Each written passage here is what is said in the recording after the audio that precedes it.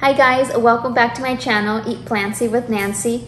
Today I'm going to be showing you guys how to make the best chunky guacamole. All your friends, your guests, your family, they'll be asking for more.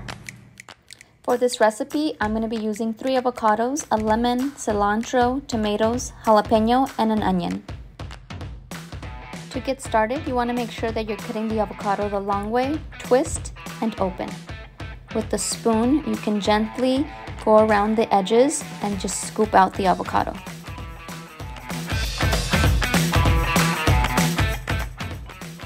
Now the trick to not getting brown guacamole is to leave one of the seeds, one or two of the seeds inside the guacamole.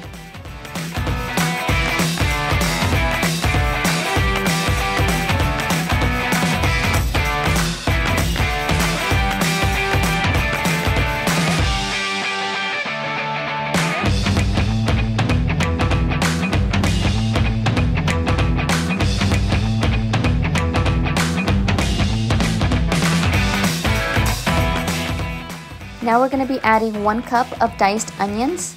Make sure your onions are nice and small pieces because nobody wants big chunks of onions in their guacamole. Now add one cup of diced tomatoes. Then add half a cup of jalapeno peppers. Finally, add one cup of finely chopped cilantro. And now it's time to mix it all together. Make sure that you guys are smashing your avocado and leave it in chunky pieces. Now that I have everything mixed well, I'm going to be adding half a teaspoon of salt and I'll also be squeezing in half a lemon to begin.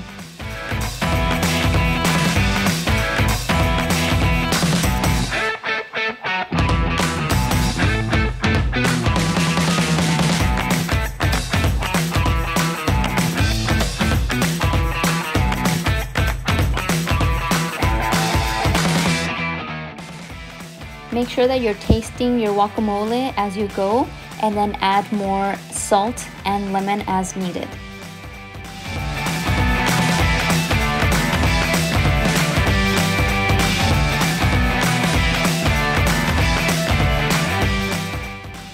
So for my guacamole, I ended up using a total of one teaspoon of salt and one whole lemon. And there you have it guys, the best chunky guacamole. Thank you guys so much for watching my video. Please, if you haven't already done so, hit the little notification button so you guys can know when I post new videos. And also, please subscribe if you haven't already done so. Thank you guys. Bye. See you next time.